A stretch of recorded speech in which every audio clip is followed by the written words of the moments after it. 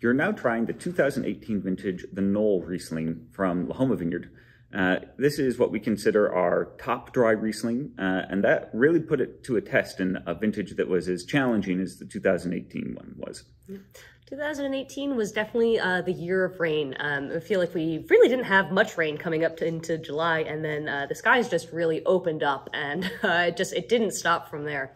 Um, and what that means is that it, it put a lot more uh, work on our end in the, the vineyards and um, as far as like making sure that uh, you know the spray schedules are kept up on um, and making sure that we kept disease pressure at a minimum in order to get you know the the knoll ripen in the way that gives us that really big intense wine that we've come to love from it.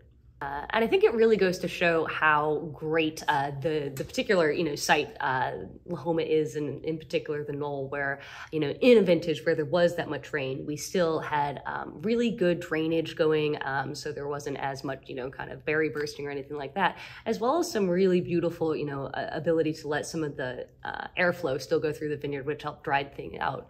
Um, and it is uh, we're incredibly grateful and lucky that that is uh, what that vineyard site brought to us us that vintage? So the answer to the question of what does a great site do in a bad vintage, uh, it still delivers a great wine. Uh, this wine is uh, a little bit more open stitched, we would say, than other vintages of the Knoll. Uh, there's a little bit more uh, maybe candied fruit to it, a little more opulence, uh, but it still has the structure and the weight that we expect. It still has the acid structure we expect. And the aromatics are just absolutely stunning on it. It's a great wine to be able to revisit and a great reminder that you can always make uh, a beautiful wine even in a difficult year.